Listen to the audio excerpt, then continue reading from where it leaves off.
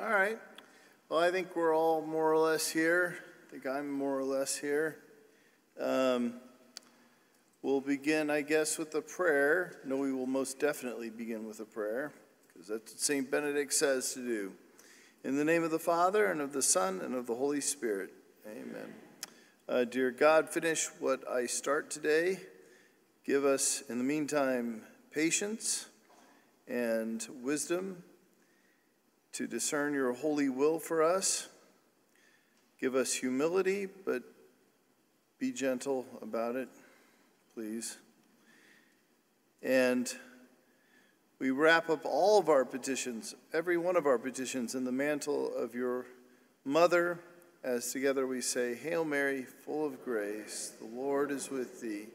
Blessed art thou amongst women, and blessed is the fruit of thy womb, Jesus. Holy Mary, Mother of God, pray for us sinners now and at the hour of our death. Amen. Saint Joseph of Cupertino, pray for us. In the name of the Father, the Son, the Holy Spirit. Uh, Saint Joseph, yes, Saint Jo, that's Kylie or Kaylee back there somewhere, I think. Good job, Kaylee. You can cheer anytime you like. Um, the um, St. Joseph of Cupertino is another one of my favorites. He was a Franciscan and was exceedingly stupid. And he failed, he wanted to be a priest more than anything. He kept failing his exams. And finally, the bishop said, Look, if you can just answer one question on this exam, I'll ordain you. And he did. He answered one question correctly on the whole exam. And anyway, it turned out he was so holy that he would levitate whenever he prayed. And it only took mentioning the name of Jesus to launch him into the deepest prayers. So little kids would run around after him saying, Jesus, and then he'd go, and they all go, Yay! And it became a real problem for his brethren because people would come from miles around to watch him float around. And uh, they used to tie him to his choir stall so that he wouldn't float around during prayers. And, and the story they tell is that he was in his cell and this princess from a neighboring uh, hamlet, uh, this is in Italy in the, uh, near Assisi, came to visit him uh, because he was kind of famous now, and she wanted to see what a saint looked like, and he didn't want to meet with her because apparently she was very pretty. So he asked the prior to not let her in, but the prior said, Look, she's got a lot of money. We kind of need her to visit, you know. So anyway, he prayed really hard and floated out the window. and uh, so he's the patron saint. I tell my students he's the patron saint of stupid people and airplane pilots, which he is. Um, he's also the patron saint of students. Um, so we've kind of, I've kind of done this backwards. I realized we started with failure, which really ought to be the end. Um, and now today we're going to talk about humility, which ought to have been at the very beginning. And then tomorrow we're going to talk about decision making, which ought to have been in the middle. So it's all reversed. But um, tomorrow will be the really sort of heavy duty, heavy hitting, theological, sort of academic sort of stuff. We're going to talk about the Desert Fathers and what it takes to make a decision. Uh, today is going to be largely what I was paid or not paid to come do, which is to talk about humility and if you've read the book, you can just sort of sleep through this because most of it uh, is is, is from my book. Um, and if you, so you don't have to take notes, or you can just leave now if you've read it and same old stuff, really. Um, with a little bit of extra stuff added. Oh, I did promise to answer some questions, and, and one was why I'm big on sharks, and, and they said they could put it up there on the screen. So uh, the reason I have a shark on my computer screen, and I, I, can't remember the exact wording of the. Are you are you here tonight? You who asked that? Yeah. Do you remember what was the question again? Oh, the story of the shark attack is best explained by uh, Fox News, I think. It's only like two minutes Can forgive long. bathers in Ocean County, New Jersey if they're a little skittish these days. That after multiple shark sightings within the past week. Bathers spotted a pair of five foot long sharks yesterday in Seaside Park and Seaside Heights. We're also getting shark reports from Toms River and Berkeley Township. And while there's no scare like in the movie Jaws, it is hard for some bathers to get the image of all those teeth out of their heads. New Jersey correspondent Nora Muchanic is live in Seaside Park tonight. Nora? Hi there, Jim. That's because that's the movie that sticks in everyone's mind, but that's not what's going on here. There are sharks in the water this week, but they're nowhere near the size of Jaws. Now, luckily, one surfer who had a close encounter with a shark yesterday, well, he apparently had someone up above watching down on him. He was about 8 to 10 feet and not more than, I'd say, uh, 20 feet away. His students call him Father Dude. He's a Benedictine monk who teaches high school in Missouri, and yesterday while on vacation came face to face with a shark in the water off Seaside Park. There's just this great dark shape beneath the surface and these two fins, the dorsal and the tail fin. And uh, I didn't take a long time to look at it. I pumped the board around and started paddling like crazy. Alarm bells went off again today when lifeguards just south of Seaside at White Sands Beach in Berkeley Township spotted two more sharks in the water just after 9 a.m. Fortunately, there was no people, but I did. Go, we did go up and down the beach. All the people uh, sitting on the beach to tell them about the shark. Don't go in the water until we we say it's all clear. They said we can't go in, and then they saw another one about a half hour later, and we were just waiting for the sun. My husband's definitely afraid. Terrified. yeah, I'm fine. Right on the edge. I'll touch my feet in, but I'm good. You're not going in. No chance. Experts at Jenkinson's Aquarium in Point Pleasant say the sharks that have been sighted this week are likely common species like this, sandbar or sand tiger sharks. They regularly inhabit the waters here but are infrequently seen. The sharks don't eat people. They're more interested in smaller animals and they're just cruising around looking for something and moving on. Lifeguards have temporarily banned swimming in several towns when the shark sightings occur, and while they eventually move on, the mere presence here has unnerved some. It's scary. It reminds us of Jaws exactly. My kids were too young to remember that movie, but I remember that movie. And that's why so many people are a little jumpy about sharks in the water. Of course, the beach patrols are keeping a close watch. And so far, that Benedictine monk on the surfboard is about as close as anyone has come in terms of having an encounter with the sharks. Thank goodness he says his prayers. Live in Seaside Park, I'm Nora Muchanic, Channel 6 Action. So that does that answer your question? yeah, I. Uh, it was it, there was uh, less to that story than they mentioned actually, because it your odds. It turns out your odds of getting eaten by a shark, even if there's a hungry shark nearby, are much less than being trampled by a moose or or a pig. Like pigs are more dangerous than sharks, but I guess there's something about having them under the water that you can't see them, and it makes it kind of scary. But yeah, I went out surfing, and there were only like three of us out there because the surf was up, but they, they'd spotted these sharks out in the water. But I only get three weeks a year to go surfing, so uh, you know you take your chances. And we were out there joking around, and I was saying he's going to come after you guys because you're smaller, you're bite size, and they're like, he's coming after you because you're bigger and you know you're more of a meal. And then we're laughing, and then one of them starts going, shark, shark, shark, shark, you know. And, just like in the horror movies, I was like, ha ha ha, very funny, you know, good joke. You know, they look around like, oh, shoot, shoot, shoot, oh, shoot. And uh, I learned, uh, anyway, the, uh, yeah, I, the, um, I learned pretty quickly. Well, actually, I learned two things that, that afternoon coming back to shore. One was that you can't paddle a surfboard if you don't put your hands in the water. And the other one was that, uh, you know, that there are a lot of things in our lives that seem really important at the time that when you're being chased by a shark suddenly don't feel that important anymore. Uh, which is why St. Benedict tells us monks to meditate daily on the hour of their death. Um, now, so we're going to talk about humility today, and um, I've literally written the book on humility, so I guess that makes me an authority. Um, the point of it all, of course, is death, is looking forward to the day of your death. And um, in fact, we just recently lost our father Paul. He died two weeks ago. He was buried last Saturday. And he died of colon cancer. And I, when, when, he, when he was diagnosed with it, and it was just all through him, it was inoperable, I said, oh, I'm really sorry to hear this, Father Paul. And he said, Are you kidding? I've been praying my whole life for a slow, painful death. I was like, Are you? I was like, What? And he said, No, no, no. I want to get all my purgatory out of the way. Just, and I want to be well prepared. I just want to, you know.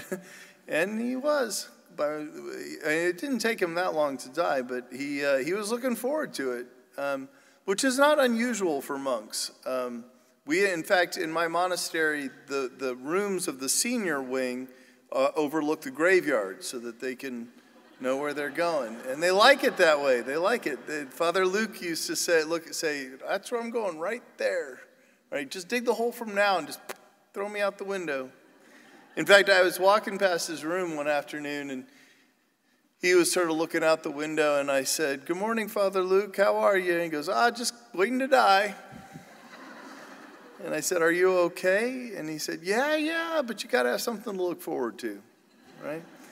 Uh, so monks look forward to the day of their death. And if we have time at the end, I'll tell you about Brother Ed, but uh, there, uh, there's some in the audience who have heard that story like five times already, so I'm going to skip Father, Brother Ed for the time being. Um, but I might highlight him in red in case we have time at the end to talk about him, because Brother Ed taught me a lot about death and well, and about holiness in his own weird sort of way. Um, oh, heck, I'm just going to tell you the story. Sorry. Yeah, those of you who have already heard it are just going to have to hear it again. Because he, the, Brother Ed was, was not a saint, but, but he, was, he was a monk. uh, he and I didn't get along, actually. The Brother Ed was crazy. Um, and, and every monastery has a crazy monk because monasteries are little microcosms of the church. That we have smart monks and stupid monks and hardworking monks and lazy monks and fat monks and skinny monks and it's just a, a complete little church. And every monastery, every monastery I know of has one really nutty monk. And by crazy, I don't mean that he was like, you know, crazy, bro. I mean, he was like, he had invisible animals in his room that talked to him. Uh, and he was also obsessive he, he was, he, everything had to be perfectly neat, right? He would come in about 10 minutes early to prayers and line up his books. He'd spend like 10 minutes lining his books up perfectly. When he died, we, we went into his room and the furniture was glued to the floor so that it would be where he needed it. In fact, and the lamp was glued to the table. There was like, there was a pencil glued to the table so it would always be where he wanted it, right? Um, and eh, but, he was also kind of and he was also kind of a genius, though. In addition to being nutty, um, he he at the age of 85 he taught himself the harmonica because he was a big fan of bluegrass. So he taught himself over 500 bluegrass tunes. He couldn't read music, so he invented his own notation based on colors. And we've got volumes of just nothing but colors in our archives, and nobody can read them, but they're music apparently. Um, and he was an authority on Ernest Hemingway. He, he actually had in his cell a copy of an autographed first edition of The Sun Also Rises, uh, which he never let me see because he, uh, Brother Ed and I did not get along uh, for obvious reasons. Um, I mean, in addition to the fact that we sat next to each other for eight years and I'm a mess, and I'm never on time, and I, my books are all over the place. I kind of pile them up in my choir stall. And I may have rearranged his books once or twice just to, just to see what would happen. And um, so he and I were, were always on each other's nerves. And, and that has to be a very quiet affair in a monastery because, you know, we're, we're, my monastery is pretty strict. And so when you have a fight, it's more like, you know, and that's pretty much the extent of it. Um, but then, then uh, after I was done with my novitiate, strangely, the abbot, and what was perhaps the worst administrative decision of all time, put me in charge of the kitchen and then put Brother Ed in charge of the dishes. Uh, and Brother Ed was meticulous, so putting him in charge of the dishes made sense, but I was a terrible kitchen master. I mean, just the worst. Like the monks just didn't eat sometimes because I just didn't remember to feed them, you know, and and and, and Brother Ed and I were always, always on each other's cases, always rubbing raw, rubbing each other raw. And um, finally, the abbot just gave up and said, Look, you go away to Oxford and study, because that's what you're good at. I'll get somebody else to run the kitchen. And as a thank you to the monastery, I, uh, I made a big feast for the monks. It was, a, it was awful, actually, but the, the last course was really good. It was a chocolate almond torte. In fact, I made seven for the There are only 22 monks in my monastery, but I made seven chocolate tortes so I could be sure that I had an extra for later. And um, yeah, it's not. I, when the abbot made me director of vocations, I, I went into his office and I said, Really? He goes, Yeah. And I said, But I'm a terrible monk. And he said, Yeah, but your heart's in the right place, you know? So go figure. Um, but in any case, he, um, I made this extra chocolate torte for myself. And once the feast was over and I'd cleaned up the kitchen and, and everything was in its place, I, I cut myself a piece of chocolate torte and I wrapped it in uh, aluminum foil and I hid it in the fridge behind the mayonnaise because note to any future monks out there if you ever want to hide something in a monastery hide it behind the mayonnaise because nobody touches the mayonnaise um, and, uh, and i woke up extra early the next morning and i got my favorite chair and i put it on the back porch and i, I, got, I made myself a cup of coffee and got a good book and i sat down and when i got my chocolate torte out of the fridge but when I opened it, when I unwrapped my chocolate torte, someone had been there first. Yeah, and, and, and not just eaten my chocolate torte, had taken a bite out of my chocolate torte. Like I could see the teeth marks in the chocolate torte. It slobbered all over my chocolate torte and then somehow wrapped it up exactly as I had left it, like, and then put it in exactly the same spot in the fridge, you know? And and the depths of rage that welled up inside of me, uh, I mean, I cried out to God for vengeance. I mean, my whole ruin, my whole morning was just ruined. And there was really only one person in the monastery capable of that kind of meticulous insensitivity, you know? And uh, so I, but I swallowed my rage and I, I went and I cut myself another piece of chocolate torte and I wrapped it in silver foil and I put it back in the fridge. But first, I soaked it in Lee and Pepper's super hot Cajun sauce, right? And the next morning, when I woke up and came down to the kitchen, there was chocolate torte sprayed all over the wall, right? And it was like the greatest moment of my life right? I mean, vengeance was truly mine. And, and you know, you can't say a lot in a monastery, but when I'd see Brother Ed walking by, I'd be like, is it hot? Is it hot?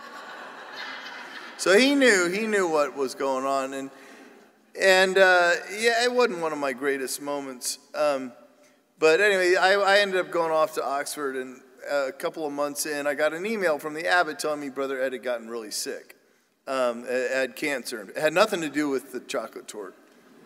Uh, and then I started to wonder whether maybe I could have handled that a little differently. Um, you know, I, I got to thinking, you know, he's a sick old man. He's obviously crazy. You know, I could have made him his own chocolate torte, right? Could have, could have put a, could have made a chocolate, could have cut his own piece, put his name on it, wrapped it with a bow for crying out loud. I mean, who cares it was a chocolate piece of chocolate cake. Um, and then, of course, a couple months later, he died, and then I felt really terrible. Um, anyway, to make a long story a little longer, I came back from Oxford, and when I got to my room, I opened the door, and there was a package on the table in my cell, a little brown paper package wrapped in um, uh, an old grocery bag and tied with twine and taped. And uh, I had a suspicion I knew who it was from, but I, I opened it, I, I pulled the, the twine off, and I opened the book, and it was Brother Ed's copy of The Sun Also Rises, right? And it had a little sticky note on it that said, sorry, right? So this is, uh, and, and I think this is why, you know, A, this is why Father uh, St. Benedict forbids grumbling. And B, it's why he tells us to meditate on our death. Because there are just these little things in our lives, turning the thermostat up or down or whatever, that just become so huge to us, that just, just eat us up, you know, these, these little, these conflicts. Um, and when you begin to think about them, they, they start to, if you think about them in the context of death, like all of a sudden they become, well, they, they're put in their place. I, um, I was going to save this for tomorrow, but I think I'll tell you about it now. I, um, when my sister got married, I asked, uh, she asked me to give the toast at her wedding. And I don't know what to say at somebody's wedding. I'm not, I don't have a dog in that fight. I'm never getting married myself. I don't care. So I didn't know what to say, and I, I went and found old Father Patrick in his room because when I need something to say, I, or when I'm confused about anything, I go and I see one of the old guys. Um, and I walked into his room and I said, Hey, Abbot Patrick, good morning. And he woke up. He was sitting in a chair, asleep. And I said, uh, I, got I, I need your help on something. he said, Certainly. And I said, I need to give a toast at my sister's wedding. What do I say? And he said, Ah, you tell her that the day will come when he will want the window open, she will want the window closed. Then he went back to sleep. and I had no idea what that meant. But I gave the toast. I, I, they, they, my time came, I stood up and I said, The day will come, Kristen, when you will want the window open. And he will, and everybody thought I was wise, you know, and people were like, Oh, explain that to us. I'm like, I'm sorry, you'll just have to live your way into the answer. You know, I, I, I, well, I, I can't, I can't, no man can dictate another man's path, you know. But I still had no idea what it meant. Um, until a couple of years ago, I was saying Mass for the Missionaries of Charity, and they're great. I mean, if you've never spent any time with Mother Teresa's nuns, you got to do it just for the just for the laugh. Uh, I mean, they're just hilarious, and they don't even mean to be. They're all about this big, and they all talk like this. Even the Americans, they end up talking like this. Um, I, I, actually have a friend who joined them, and she's from Canada, and she now she talks like this. She's like, "Oh, Father, how are you?" I'm like, are you still from Canada? Um, and uh, but but I was I was given a it was well, I remember I actually I remember the readings that day at mass because it was Jacob and Esau and how Jacob put uh, lamb's wool on his arms to make himself look like his brother who had hairy arms and she kept saying and and Isaac, said you are Esau my firstborn I was like, what? You're Esau, my firstborn. Said, uh, my fuzzball? You're, because it made sense, but she was saying firstborn.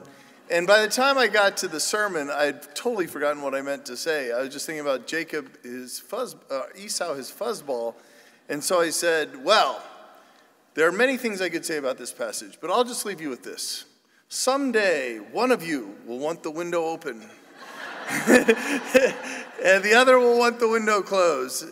And then I sat down and I thought, and then I got back up and I'm like, look, I can't lie to you. I have no idea what that means, right? Because you can't lie to a missionary of charity, right? And, and then I sat back down and they all giggled. They said, oh, Father, you're so funny. And one of them came up to me at the end of Mass and she was like, well, I know what that means. Uh, I won't try to tell the whole story in her accent, but she goes, uh, she said she was assigned to a house near the Amazon. And she's from India, which is pretty hot, but apparently the Amazon is really hot. And, uh, and they had, there were six of them living in this, uh, this metal hut. And they had two windows and a door. And one of the six was actually from that area. And every night she would come in and shut the doors and all the windows right before they went to bed. And she said, every night she'd come in, we'd have the windows open, we'd all be lying in bed, she'd get up and she'd close all the doors and the windows. And she, every night they'd just steam silently, praying year after year that she'd get transferred. And eventually she was. And they, cel- they, they, they celebrated by opening all the windows and the doors. And they, she said it was wonderful. We slept, she said, all night with this cross breeze. And we woke up the next morning with snakes in our beds. and she said, you, you want the, what your abbot was trying to do, what your old monk was trying to tell you was that you need to assume first that the people you live with want what is best for you, right? They may not. they may be jerks, but you assume first that they want what's best and then move from there. And it turns out I was, I was reading this, uh, I'm writing this book on decision making, and I've been reading these psychology books. And there's this term, if you ever want to sound super smart, you can use it, called the fundamental attribution error. All right? In psychology. If you want to sound super smart, you can talk about this. And it's the idea is that you attribute to other people See, when somebody around you does something really jerky, you say, that guy's a jerk, right? Somebody cuts in front of you in line at the grocery store. It's because he's a jerk, right? You attribute his motives to him being a jerk, a character flaw. But if you cut in front of someone else in line, it's because you've had a horrible day, you're in a terrible rush, it's an emergency, and you're sure they'll understand, right? And it's not an, um, an issue of charity, it's just an issue of logic right? You apply the same criteria to yourself as to other people. Another way of putting it is you're on the highway, right? Everybody you pass is a moron, and everybody that passes you is a maniac, but you're like the one person on the highway that has picked the exact right speed, right? Because you attribute to other people's errors to their character, but you attribute to your own errors circumstances, right? And, and forget about charity just for a moment. It's just illogical. You should, you should apply the same criteria to everyone. So this guy cuts in front of you. He may be a jerk, right? But you won't know till you ask. You say, oh my gosh, are you in a hurry? Are, are you having an emergency? Did you not see me here? Is, are you okay? And then he goes, no, I just don't like you. And then you go, oh, you're a jerk, right? But then you've got, but now you've got a reason to think that, right? uh, before, so, so she, and, and she said to me, this nun, she said, if we had just asked, you know, we just assumed she was being mean. But in fact, if we had said, Sister, why are you closing all the windows? She'd say, Because of the snakes. Then we would have avoided five years of resentment, right? Um, which, is, which is, I guess, an, a, a, uh, way of introducing humility. Um, so, this, uh, uh, I'm now famous for my humility, and I gave myself an award actually not too long ago. wasn't wasn't big enough, so I made a bigger award for myself. Um, but more importantly, I wrote this book, and to the sort of in a nutshell, uh, Saint Benedict in chapter seven of the Rule, he he outlines what he says are the twelve steps of humility. And it turns out these 12 steps have been very, very useful for hundreds and hundreds of years, and they became the 12 steps that they use in AA. And there are all sorts of, all these 12 step programs actually ultimately derive from St. Benedict's 12 steps of humility. He says, the higher you climb, the lower you get, right? And it starts with fear of God, which is a sort of a negative virtue, if you want to think about it that way. And it and then you progress through these steps. And you can go back and revisit them and stuff like that. But it starts with the fear of God, and self denial, obedience, perseverance, repentance, serenity, self abasement, until finally you get to discretion, dignity, silence, reverence. The last step, of course, is, is about revering God. Um, and and I, I, began to, to think about this in, in earnest uh, when I was appointed to become the to be the chaplain at our high school, because we had this great shrink, this great uh, counselor named, of all things, Dr. Fury, um, who, who's, by the way, who, who really needs your prayers. He now works exclusively with fallen priests. and you want to talk about, he said to me not too long ago, he said, I've never had a job where people hated me for doing it. He's like, but they do now, right? So he needs prayers. I mean, he's, he's a great man, genius. Uh, but, but he's doing a job no one wants um, for people that no one wants, um, not even their brother priests. Um, but in any case, he gave a talk to the school called Don't Let the Village Raise Your Child. And I thought this was just a brilliant way of turning the cliches on its head. And the next morning, I, I, I saw, I, it became this sort of ritual. I would wake up in the morning and I'd say, Good morning, Dr. Fury, how am I? And he'd say, What? I'd say, Well, you're the psychiatrist, how am I? And he'd say, Oh, I don't know, you got daddy issues maybe, I don't know. And he'd say, Well, how am I? And, I, and he'd say, You're the priest. I'd be like, Well, you know, maybe an exorcism or two, whatever. And then on my way out of the office, he'd say, Follow your dreams. And I'd say, Think outside the box. And he'd say, You're perfect just the way you are. And we'd, go, and we'd try to see who could end with the most cliches. Um, the, the idea being that these were things that we were hearing every day, you know, that people tell their kids that I think in the end are just going to turn them into these narcissistic, self absorbed, empty headed, you know, shallow, not, I mean, whatever, kids. Um, and then to make, I don't know, to put the icing on the cake, I ended up, I, I was at the pharmacy uh, about a year later and um, get picking up drugs for one of the old guys. And uh, and you know, they had these self help books on the shelf, these sort of popular things on the shelf. And one of them was called The Teen's Guide to Self Esteem. And the subtitle was Learning to Love the Most Important Person in the World You. And I was like, I pulled it off the shelf and I looked at this farmer's and I was like, this is the worst advice you could ever give a teenager. Like, they're, they already think they're the center of the world. Now, not only have you reinforced that, but you've upped the pressure. Like, and I went on and on and on. Finally, they gave me the book and asked me to leave. And, and I took it home and I flipped through it and I said, you know what, this is it. I, am I'm writing my own book on self esteem, which, spoiler alert, I don't believe in. Um, it, it, ended up being on humility. Um, because, and not, not because I'm especially humble, but because I do hang out with guys who really are. And uh, in particular, well, I, have also known, uh, I, I, think, I, am I'm, well, yeah, I'll tell you this. The, humility is often, I think, confused with self deprecation or, or, or, this sort of obsequious, oh, I'm so terrible sort of thing. It's a sort of negative thing. But I, I had this friend at Oxford, I played rugby with him. He ended up becoming a Jesuit, God bless him. Uh, but he was a great rugby player. I once saw him knock a kid out, and then drink his water when they brought it over to him when he. Uh, now he's a Jesuit, go figure. Um, in St. Louis, he wrote, he, he said, I am now, he, he sent me a note and said, Guess what? I've been appointed to the most prestigious high school in St. Louis. And I was like, Well, wait a second. I don't remember losing my job. How'd you end up here? Um, but in any case, his, he lived in a castle, like literally. He was from, uh, his family lived in a castle. And um, they invited me to come up and, and spend Christmas with them. And I didn't know they lived in a castle, um, but his mom came and picked me up, and she drove me up there.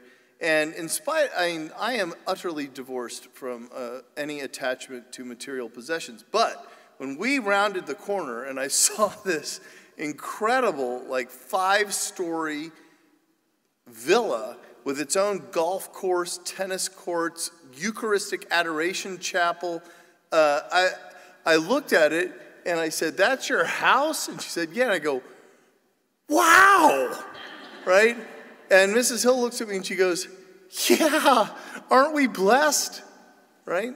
Which was, which caught me even more off guard than seeing the castle because, you know, you would think that she'd say something like, Oh, well, you know, it's really hard to keep up, or, or oh but you know it's not what it seems or well sure but blah, blah. you know.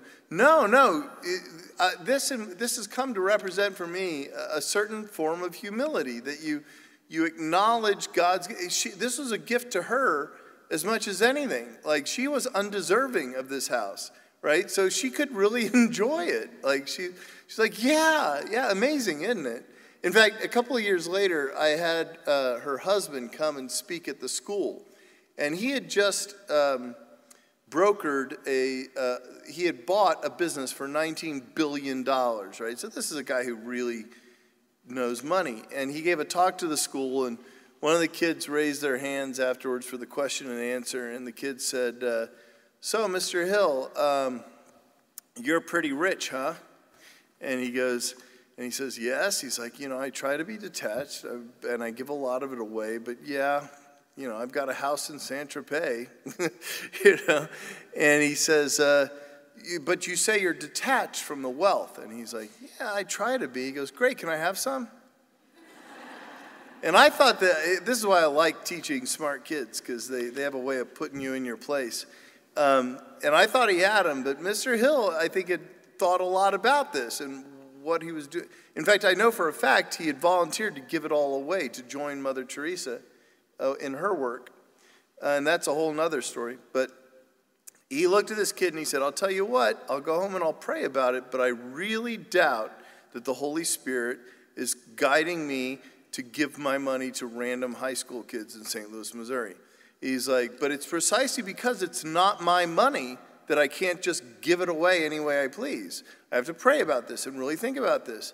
Um, and I, again, I, I, think this is where, where, where real humility is, is that accepting your weaknesses, obviously being bluntly acknowledging your weaknesses, but also bluntly acknowledging your gifts, right? Uh, St. Uh, Justin Martyr said that, um, or no, John Chrysostom said that when you downplay your gifts, you do God no service, right? And, and I, was, I was actually talking about this at the, the last retreat I gave. I was telling this story about how I, I was on the swim team in high school, and at regionals every year, the same kid would beat me every year at regionals in breaststroke. And every year he'd beat me, and every year he'd get angry and throw his goggles across the room because he hadn't hit his best time. And this, and I was like, you know, thanks a lot for that because you beat me, you know, and you're ungrateful for your success. Although someone in the audience pointed out that I, he was judging himself by himself, and I was judging myself by him. so it turns out I guess I was wrong. But but the point is that when you have a gift, it does God no justice to downplay it, to pretend like you don't. Um, anyway, step one, and now we begin the ladder of humility. Step one uh, of the, I'll just go through two of the steps on St. Benedict's ladder of humility. Uh, the first is the fear of God. And I think this is really, uh, this really is the place to start. It's not the place to finish, right? The fear of God is the beginning of wisdom. But if you can't, I tell the kids, if you can't feel the love, at least try to feel the fear, right? Um, if you can't do a good thing for the right reasons, then do it for any reason. you know, do it out of fear of hell if you have to, but do the right thing. Um, so Saint Benedict says, always have the fear of God before your eyes, and avoid all thoughtlessness, so that you are constantly mindful of everything God has commanded. Um, so when it comes to like self-esteem, you can't have that without self-respect. And because you're made in the image and likeness of God, that means you start by respecting God, right? And I don't mean by that that God's like up there waiting to hit the smite button on his computer, you know, that he's out to get you. But then again, like, he's pretty big. like, he's in, he's, uh, there, there's a great, oh, all of a sudden I'm reminded of a Monty Python routine where the preacher the preacher is saying something like he said he starts off his sermon by saying, "Oh Lord, you are so big. You are just so incredibly huge. Like we're all really impressed down here. Let me tell you that much. And I mean, the, the truth is, like, God is great. And and our, he weighs our souls. We have a monk in our monastery He's a convert. He was Episcopalian, and he read Sinners in the Hands of an Angry God, which, if you haven't ever read it, is really worth. He talks about us being like a spider on a thread held above a fire, and God's got the other end. And this, this is a Puritan from the 17th century, so he's a little, you know, over the top, but it scared him enough to get him thinking, and he ended up converting and becoming a monk. So, you know, it's again, it's the beginning of wisdom. Theosebia in Greek, God fearing. Um, and I think these days we're likely well, I think what, what, what C.S. Lewis wrote is, is probably very appropriate that folks these days don't so much want a heavenly father, they want a heavenly grandfather, right?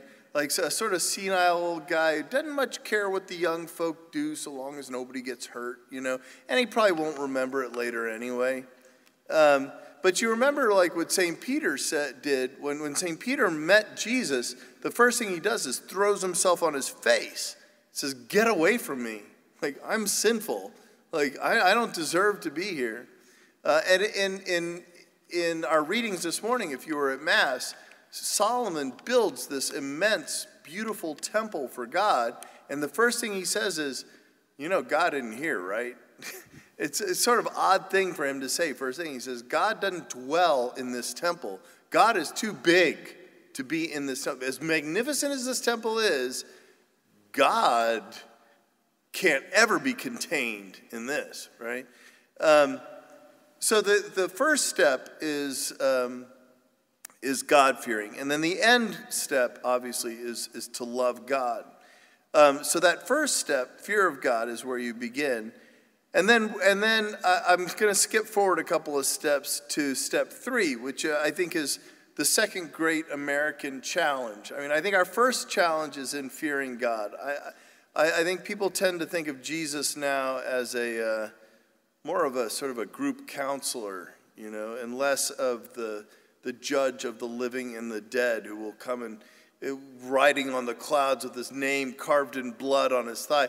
I was talking with someone this morning that like I'm, i think a good project would be to go and list all the things that Jesus says that are rude, like like you you den of vipers, you whitewashed tombs, you like uh, it'd be better for you if if a millstone were tied around your neck and you were thrown in a lake. Imagine saying that to somebody. Like we tend to think of Jesus as way too nice these days. Um, and, and, I don't think that's necessarily what it's about. Kind, yes, and good, yes, but I don't know about nice.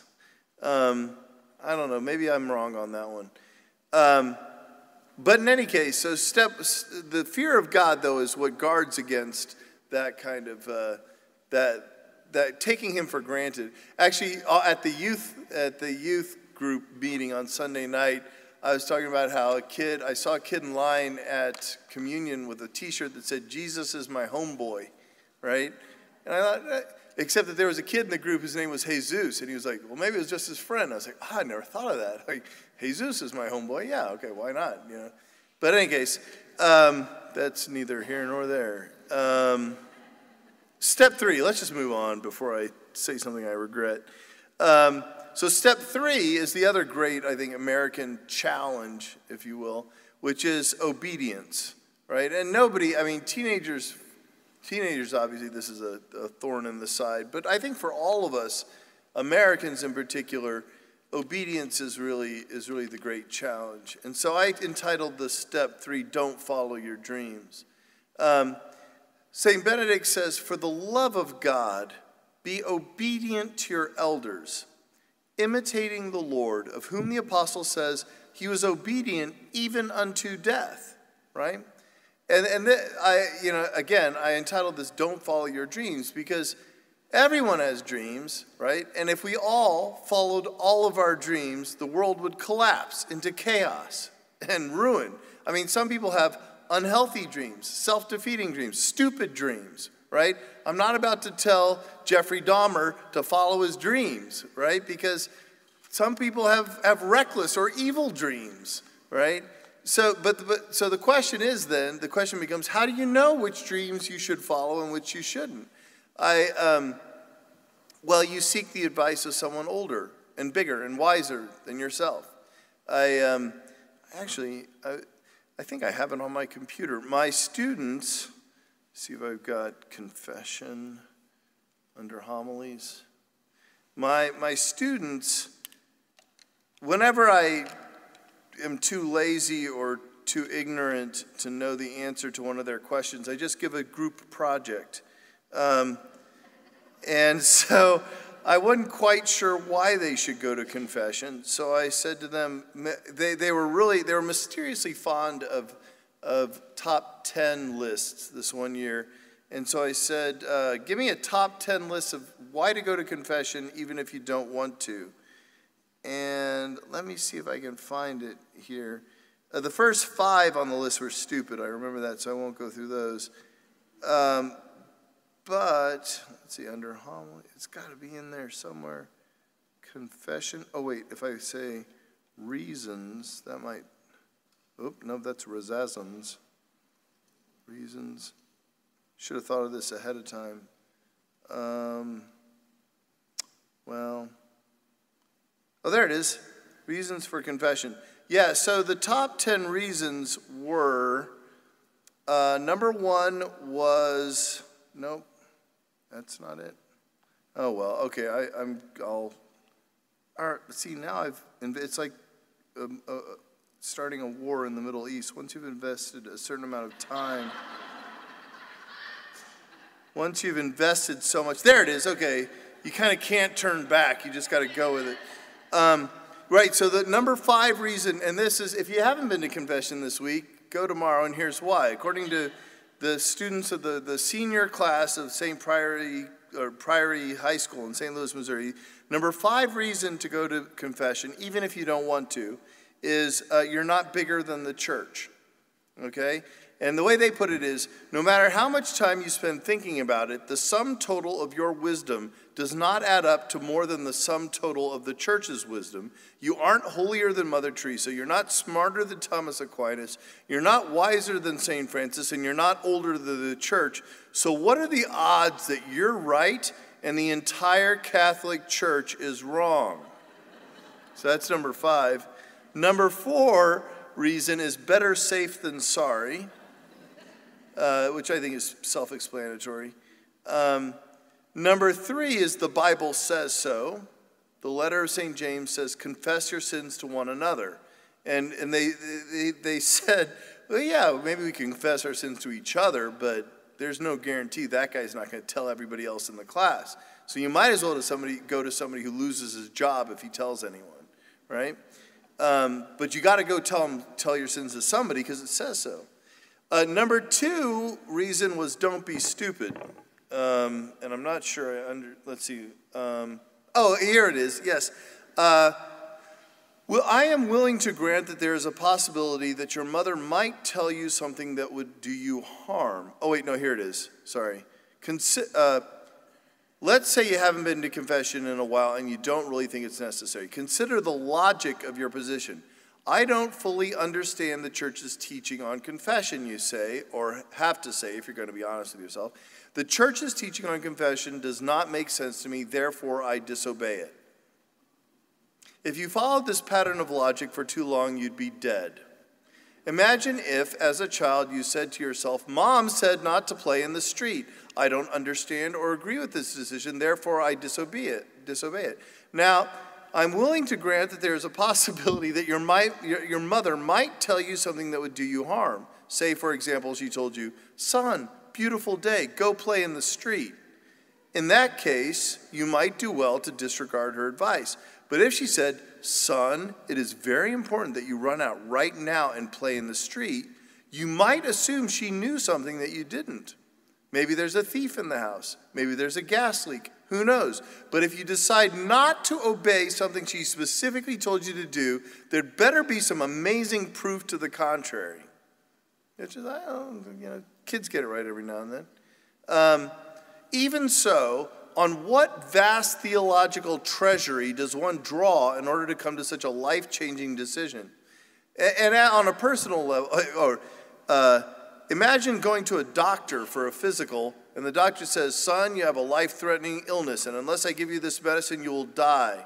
And you reply, Excuse me, doc, but I've taken high school biology. I think I'll just treat myself, right? This is, yeah, I mean, the, the truth is, like, people are willing to take expert advice on, like, plumbing, right? But they won't, but when it comes to art or theology, all of a sudden everyone's an expert, right? I mean, look, when everyone says, when all the authorities in your faith tradition say, do this, like before you just say, because and, and this is something I'm fond of telling the kids. You can always tell sloppy logic is on its way because somebody says, I just, and you're like, you might as well just fill in whatever malarkey you want after that because I just, like, I just think God wouldn't, you know, do, I just feel like, that means you haven't thought it through, right? But you're going to have a strong opinion anyway, right? And nobody cares what your strong opinion is if you haven't thought it through. Sorry. anyway, so number one's number one reason to go to confession, according to the St. Louis Priory School seniors, is superpowers. Yeah. Um, yeah, I mean, it not only forgives the sins that you've remembered to bring to the sacrament, it also forgives the sins you forgot to bring, and it gives you power to resist sin in the future. People tend to think of it as sort of, uh, or my students tend to, well, one of my students thinks of it as antivirus software, that it gets rid of the viruses you've got and then gives you protection against future viruses. For the record, he also thinks of uh, baptism as receiving your operating system marriage as an external hard drive, uh, Eucharist as the internet. What were the confession is an upgrade of the operating system, and let's see, uh, uh, ordination is when you become a web server, and oh, the sacrament of sick is when you just got to take the computer into the shop, right? Might come back, might not. Um, anyway, the point is that. obedience, to get us back to our original topic, obedience is what saves you from following the wrong dreams. Okay? Um, G.K. Chesterton said, We don't need a church that's right when we're already right. We need a church that's right when we're wrong. Right? Wrong, right. Um, so obedience is what saves us from following the wrong dreams. And, and this is when, in this chapter of my book, I wrote a story that I then regretted writing and asked if they could take out of the manuscript. And the, my editor was like, No, this is everybody's favorite story in the book. And everyone asked about it. But when I, when I first joined St. Louis Abbey, I decided I would never have another lustful thought, which lasted about like three minutes. And so I decided to put it off till my, my juniorate. And when I took my simple vows, I discovered that I wasn't any better prepared then than before. So I was reading through the lives of the saints, and I got to St. Francis. And we all know what St. Francis did when he struggled with lustful thoughts, right? He threw himself in a rose bush.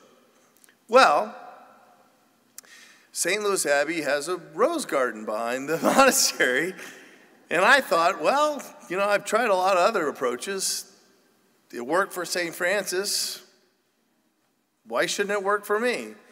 Well, it didn't work for me, as it turns out, because I, well, I, I, I got myself to pull myself together, walked out and by, behind the monastery, and jumped right in to Simeon's rose bush, forgetting that, that three really, really, really key factors. Uh, number one, that St. Francis threw himself into a wild rose bush.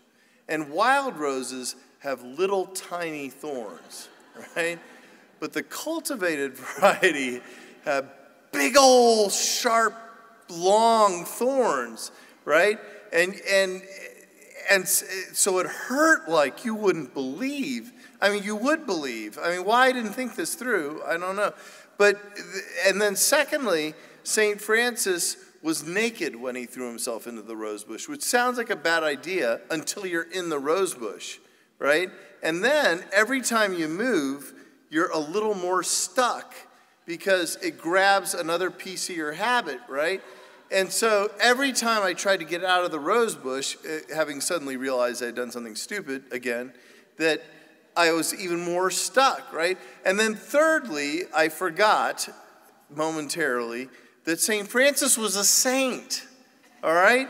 And I'm just Augustine right? So what might have been a great idea for St. Francis was just stupid for me, right? So I, I, anyway, I was stuck there in the rose bush for, I gosh, what seemed like hours. It could only have been about 20 minutes or so before my novice master walked by, right?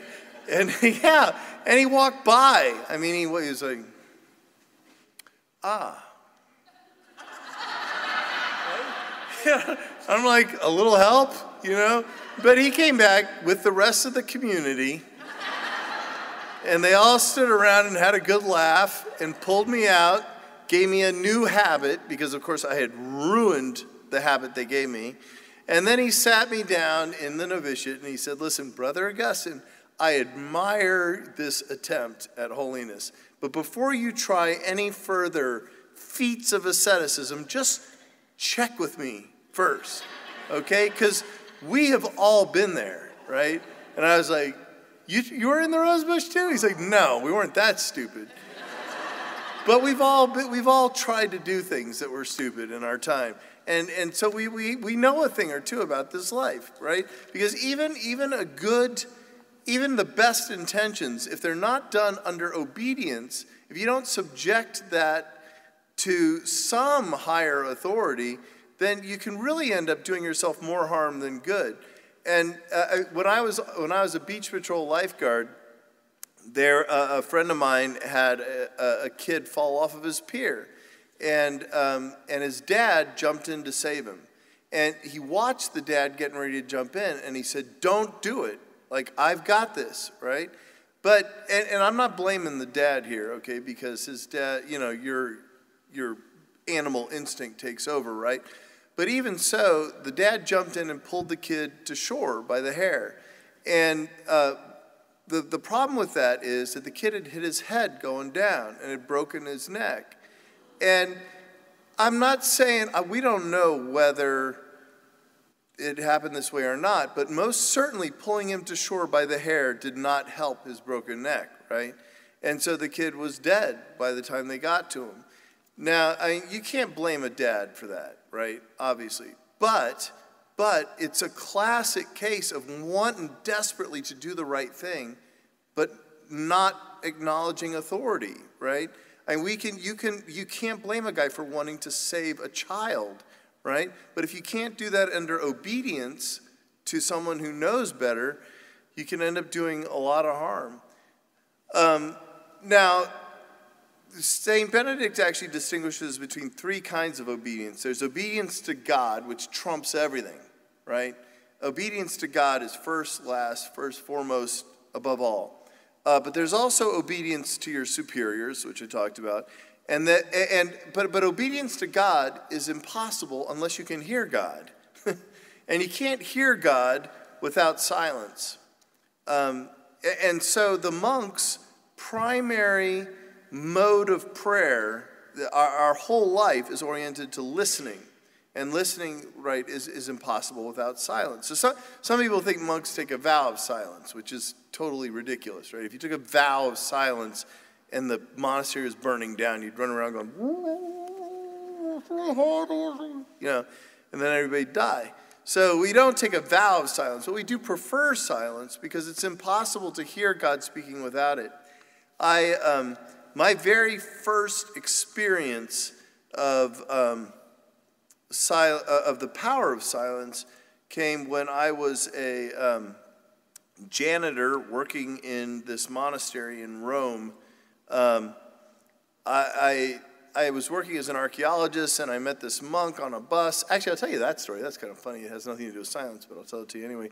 I was on this bus and there was this great big monk on the other side of the bus and he's six foot six. It turns out he and I became really good friends later. I hadn't, I didn't even know monks existed at that moment. I just thought he looked strange, and he was on the other end of the bus, and there was a. This was in Rome, where the pickpockets are very plentiful, and there was a pickpocket on the bus trying to pick his pocket. And when you see a borseggiatore doing his thing, you don't just say to everybody on the bus there's a pickpocket because then he panics and somebody might get hurt. So instead, what you do is you, you sidle up next to him and you give him a shove, right?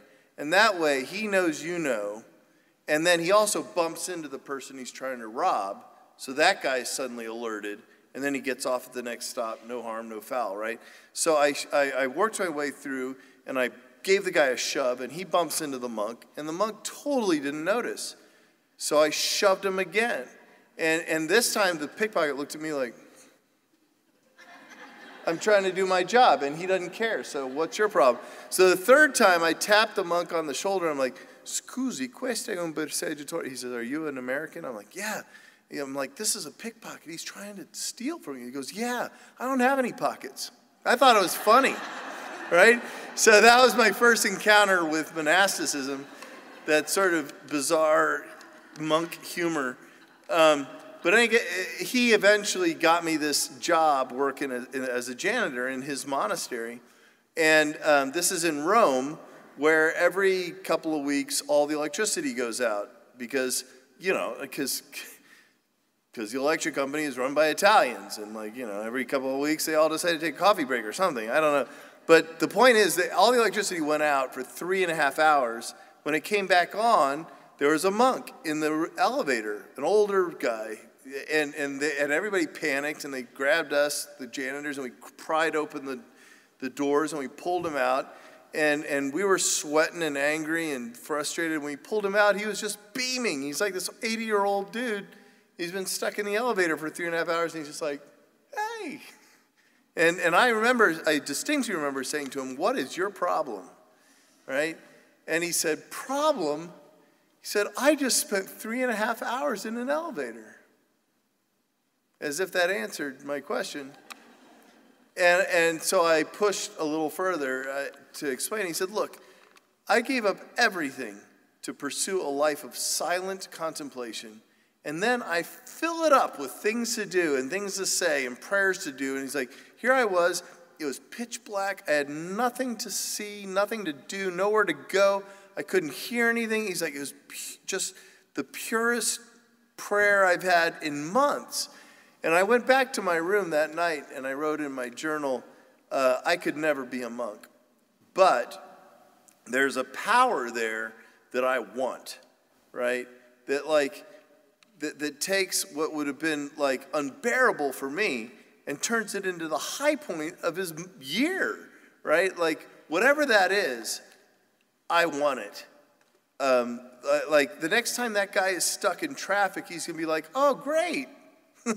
The next time he's stuck in line at the grocery store behind somebody who won't pay fast enough, he's like, oh, good. Right? Like, the most frustrating moment of my week is the high point of his week, and I wanna figure that out. And it, it wasn't until my novitiate that I really sort of began to sort through this. I took a, a class with one of our old monks, guy named Father Timothy Horner. If you've ever heard of little Jack Horner, who sat in the corner, oh, I told you him about him, didn't I? No? Well, little Jack Horner was his great, great, great, great, great grandfather. Uh, Ronald Knox died in his family home. Anyway, Father Timothy is this great old man uh, well, was, he's dead now, but he, um, he was special forces during World War II, has a shock of red hair, even all the way at 96, he had bright red hair, and a genius, top of his class at Oxford, and he taught me how to translate the rule from Latin, and every day I was late. I mean, every day I, was, I had my homework half done and I'd stumble into class with an excuse and I'd be like, I'm so sorry, I, I messed up the sacristy work, I had to go do it twice, blah, blah, blah. and he'd be sitting there like this. and he'd wait till I was finished and he'd say, Are we quite ready? And I'd say, Yes, Father. And then he'd say, In the name of the Father, Son, and we begin. Um, and this happened like every day. And what people don't know about like late people is that we really do regret it every time we're late. Um, so I eventually, over time, I eventually was on time for class, and eventually, and toward the end of my novitiate, I made it to class early, and it turned out Father Timothy was late. And, and so I moved all my books onto his side of the table, and excuse me, and uh, and when he came in with his books, he's like, "I'm so sorry, I'm late. I had a funeral and it went over, and I was sitting there like this. Waited till he was done, I go, Are we quite ready? And he just looked at me and he took a little white piece of paper out of his pocket and he pushed it across the table to me. And it said, Silence is the first language of God. and I, I, until pretty recently, I had that stuck to the wall over my bed. because, you know, we do have a tendency to fill our lives with just noise, you know? I mean, I, I remember before I became a monk, I could, I'd wake up in the morning to my clock radio. I'd make breakfast while I was listening to the radio, watch TV while I was eating breakfast, get in the car, turn the radio on, go to work, come back with the car, run with my earbuds in. I had a shower, I had a radio in the shower for crying out loud. I could make it months with no silence whatsoever, which is a great tragedy if you think to yourself that silence is the first language of God, right?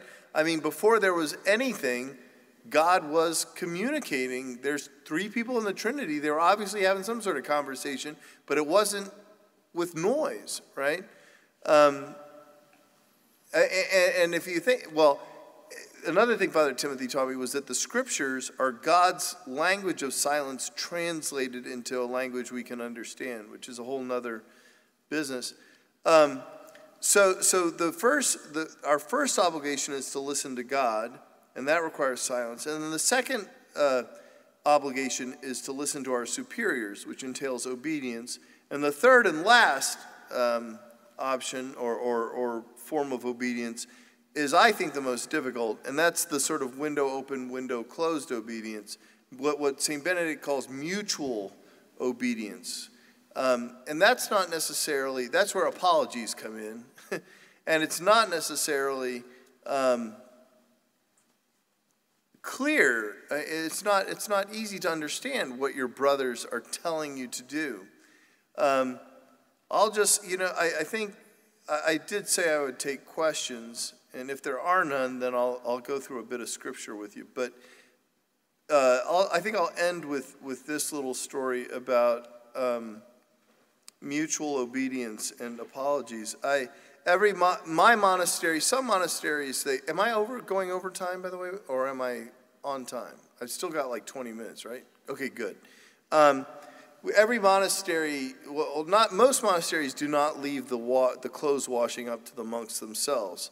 Uh, but my monastery does, and we share a washroom, and we all wash our own clothes, and we share an iron, which is always broken because someone is always dropping the iron. And, and I went in to iron my habit not too long ago, and when I picked the iron up off of the ironing board, the front fell off. And the water poured out, and the buttons fall, fell off, and, the, and all I was left with was like wires and a handle. And I was looking at this, and, I, and it just, again, I spent a lot of my life being angry at people for things they didn't or did do. And I, I thought to myself, you know, someone obviously had broken the iron, right? And then sort of balanced it on the board so that the next guy would think they broke it, right? Uh, or maybe somebody would kick the iron, or something. I guess they had hoped. And by the time dinner came, I was really steamed. And we have this tradition in the monastery of making announcements after dinner. And I had rehearsed it. I was like, someone broke the iron and balanced it on the ironing board so someone else would come along and think they'd broken it, and that someone should really own up to having broken the iron. Here I am, you know, the, the big wise guy. And, and good old Father Rafe, who's 78, raised, sheepishly raised his hand and acknowledged that he had done it. And after dinner, he came over and he apologized and he said, It turns out Father Rafe had broken the iron and had pieced it back together again with what he thought was super glue and turned out to be ear, eye drops. so now who's the jerk, right? Which actually kind of brings us back to the fundamental attribution error, right? Like, I assume that it's because he's a jerk, right? In fact, it's because he's sort of senile, uh, or, or at least can't tell the difference between eye drops and super glue. Um, anyway, so I, I think I'm going to stop there for now. And if there are questions, we, I can take them. Otherwise, I, I thought I would go through one little passage of scripture that was important to me as far as my discernment and, and listening to God and listening to the first language of God and that kind of stuff. But before I do, is does anybody got anything that's been just burning a hole in their head? A question, in other words. No? If not, then we're going to end with like a little meditation on scriptures, the way monks do it. Well, okay. All right, then. Um, what, I, what, I, what, I, what I thought I would do, uh, since we're talking about obedience and fear of God, um, when I had my first of many vocation crises, I, um, I went to old Father Patrick, who is my go to man in times of distress, and I told him that I was leaving the monastery.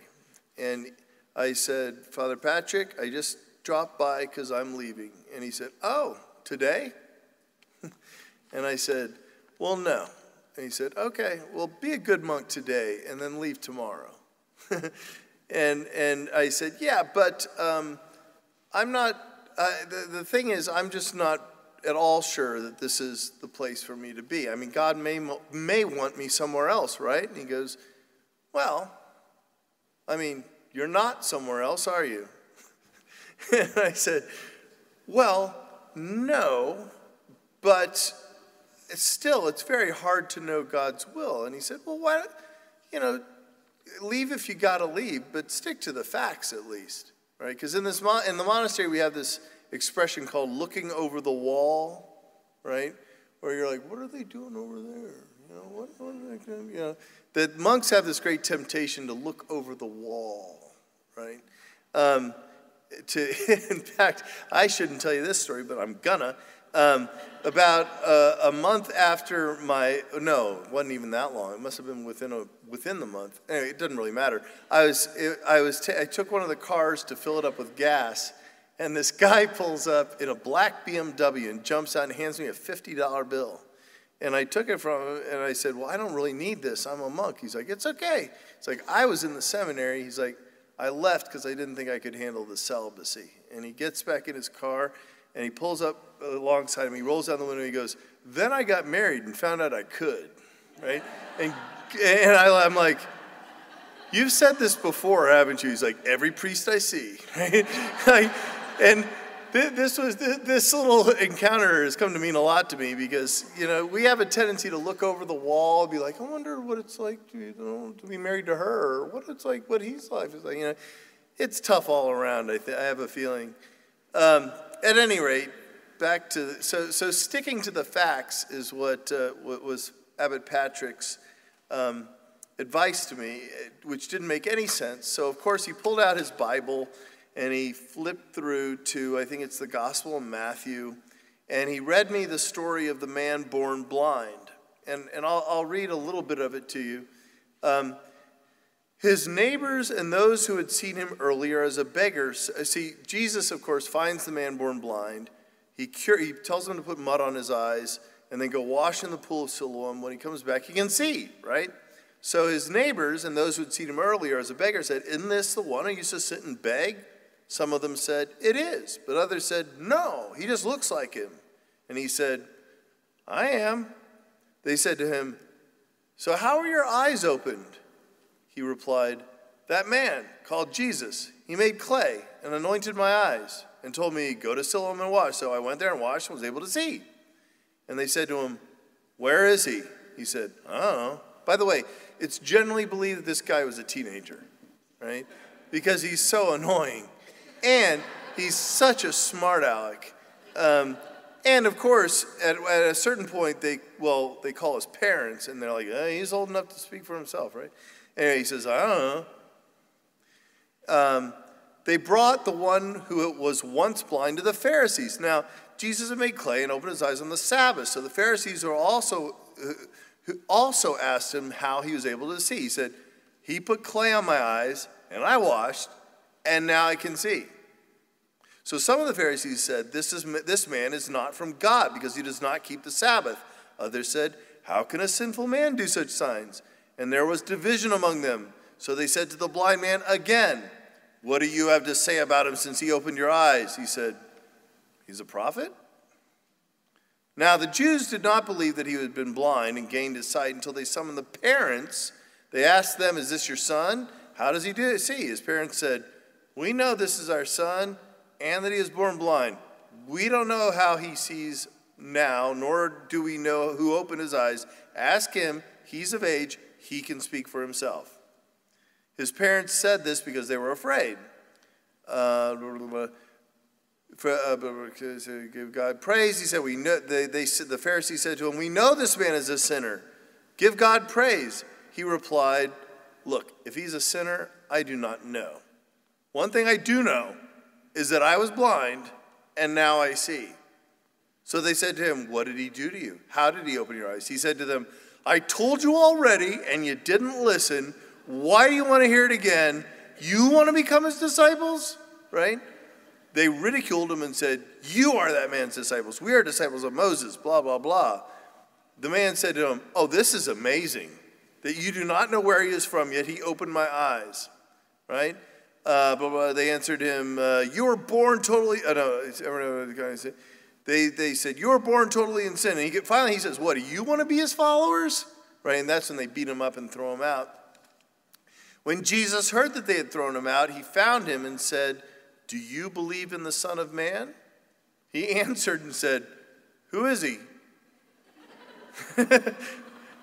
Jesus said to him, You have seen him, and the one speaking with you is he.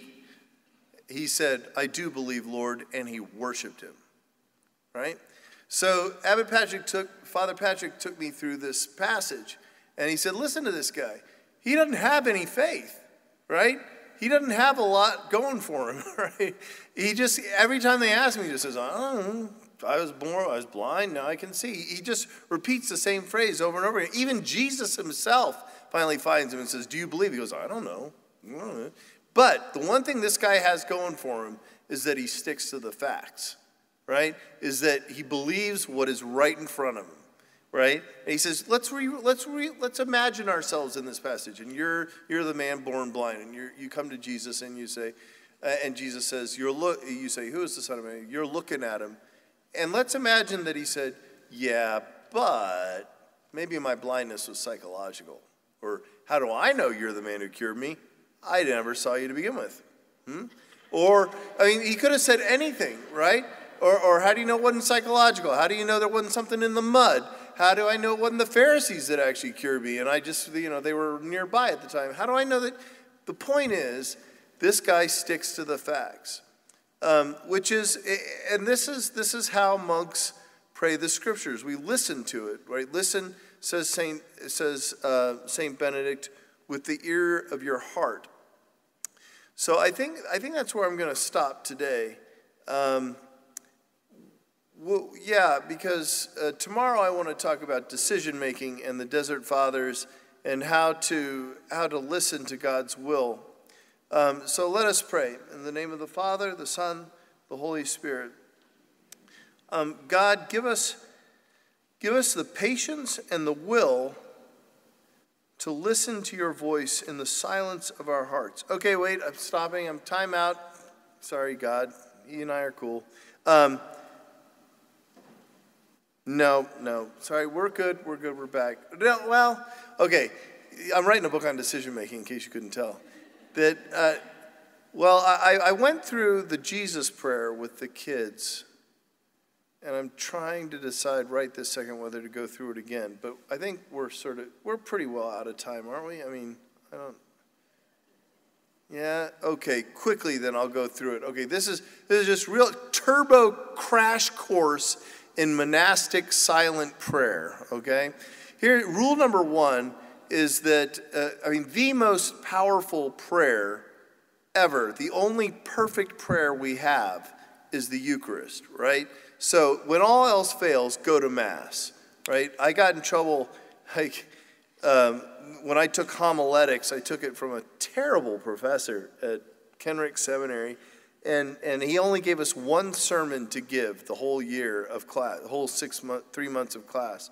And, uh, and so I decided to preach on the, the donkey of Balaam. Oh, yeah, we, I was just met a donkey this afternoon. I wasn't, you know, her donkey, not she is a donkey. Um, but uh, Balaam's ass. I decided to preach on Balaam's ass because I thought, well, what the heck? We might as well have some fun with this since it's a stupid class anyway. And uh, the refrain was, it, because you see, Balaam, this is the only talking animal in the Bible, by the way, is Balaam's ass.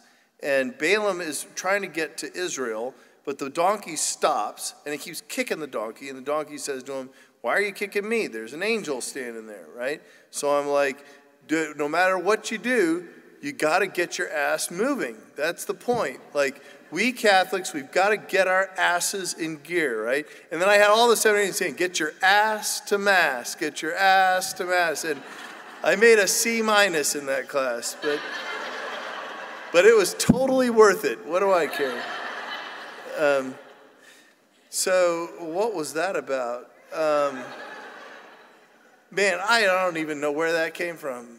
And I've not, this is the, anyway, um, Jesus prayer? Yeah, okay, so, oh, right, at, get your, yeah, the Mass. Right, so the Mass is the only perfect prayer we have. So that's, that's, the, that's the first and most important prayer. The second most important prayer is Scripture, and the most important word in Scripture is the name of Jesus, right? This is, this is the word above all other words, the most powerful word, the one passage of Scripture you can repeat endlessly with infinitely powerful results. Um, in fact, I. Um, if you look at the Old Testament, it's if you read through the Old Testament, and someday, if you get the chance, read, the, read it through beginning to end, like one big story. And a couple of things will stand out. One is they're really big on keeping the Lord's Day holy. Like, that's huge in the Old Testament, keeping the Lord's Day holy. Don't work on the Sabbath. Honor God on the Sabbath. Do that. Like, over and over and over and over and over and over again.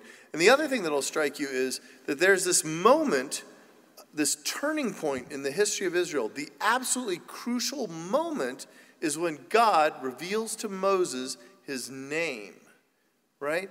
That this is, and this is, my, my own background is in archaeology and ancient history and ancient literature. And so I've read a lot of, you know, Sanskrit and Greek and Latin and whatever and, and there are all these ancient epics, and they all talk about how heroic their ancestors were, except when you get to the Old Testament, the Israelites. But the, the main thing that, uh, one of the things that keeps coming up is about the power of knowing someone's name, right? In Jewish mysticism, uh, knowing someone's name gives you power over them. And it's that one of the legends is that Solomon knew the names of the demons, which is why he was so powerful. Um, but, but in, in ancient Greek myth, for example, uh, Odysseus, his great turning point is when he reveals his name to the Cyclops. And now the Cyclops can curse him. Um, so the, the, the, and the ancient Egyptians, they would, when they'd write their name out, they would surround it with a sacred knot so that no one could curse it, right? So, and even today, if I say your name, it gets your attention. Like uh, you, you have if I, identity theft, right, is a way to get power over people. Uh, so when God reveals His name to Moses, this is this is a major, major moment. He's giving a group of humans the power to command His undivided attention at will, right? And, and it's so sacred and so powerful that no pious Jew dares to utter that word out loud, right? Because actually, you don't want God's undivided attention, right? I, in fact, I have this friend named Jordan who's an Orthodox Jew. He's a great benefactor of the monastery, and he and I discuss, debate scripture every now and then. And he was explaining to me that the you can kind of tell the good guys from the bad guys in scripture because the good guys have the name of God in their name. The bad guys have names like Jerubbaal, Jerubbaal, right? Baal in their names. Um, uh, but but the good guys have, and I was like, Elijah, Elijah, Eli, oh, Elijah Yahweh. And I looked at him, he's going, I was like, what? And I go, oh my God, I just said the name, didn't I? And he said, yeah. I was like, you've never heard it pronounced, have you? He's like, no. like, Eh, I mean, he had never heard this word pronounced out loud, right? Because it is so sacred and so powerful. But see, to Christians, we have the name of God, right? Because God became man. God was a, a human being, and people had to get his attention. And the name of Jesus has all the same power of the sacred name, the, the tetragrammaton, Yahweh, except that you can say it anytime you want, all day, every day, right? So the ancient monks, I've got two and a half minutes to tell you this. The ancient monks, the very, very first monks who ran out in the desert, their idea was to pray without ceasing, to pray without stopping. And, um, and so they went to the scriptures and they said, well, we can't do this except uh, unless we're full of the Holy Spirit. So where do we? So they found this passage in St. Paul that says, "At the name of uh, no, um, no one can say Jesus is Lord except by the power of the Spirit." Right. So easy way to stay full of the Holy Spirit is to just say Jesus is Lord. Except that I just quit saying it. Right. So now I'm not full of the Holy Spirit. So I have to say it again. Jesus is Lord. Jesus is Lord, Jesus is Lord, Jesus is Lord. So, so these monks would walk around all day, every day, saying, Lord Jesus, Lord Jesus, Lord Jesus, Lord Jesus, Lord Jesus, Lord Jesus. Except, of course, that they were always plagued by demons, right? The demon of anger or lust or greed or whatever. And, and the problem was they were constantly being distracted. Um, so they went back to the scriptures and they found St. Paul saying, again, at the name of Jesus, every knee must bend in heaven and on earth, and get this, under the earth. So every time you start to be bothered by some demon, you say, Lord Jesus. And the demon's got to take a knee. I'm, I want to punch that guy, Lord Jesus. But don't you really want to punch him, Lord Jesus? Okay. But you're really Jesus? All right. But I, Jesus, oh, come on, right? So they keep saying this over and over and over and over again. Lord Jesus, have mercy on me, a sinner. Lord Jesus, have mercy on me, a sinner. Lord Jesus, have mercy on me. And they wrote, and there's this book that was written in the 19th century called The Way of the Pilgrim. Says you should say it 19,000 times a day just to be safe. Which I don't think I've ever made it past like 200, if I can even count that high.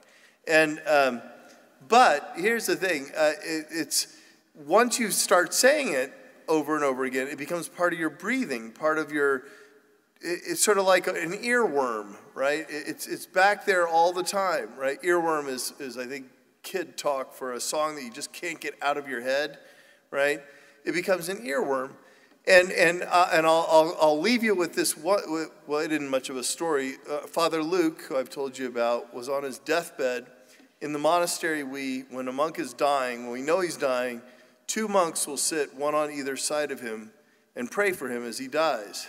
It's Saint Urban, uh, no, Saint, Pope Urban VIII, who led one of the Crusades and did all sorts of horrible things, was famously, this is the way he died with two cardinals. And he said, I give thanks to God that he allows me to die like he did, with a thief on my left and on my right. I said, yeah. And one of them said, Don't you want to forgive your enemies, your eminence? And he said, I've killed all my enemies. I don't need to forgive them. but, anyways, I like Urban VIII. Pray for him. He, he gave us the Sistine Chapel.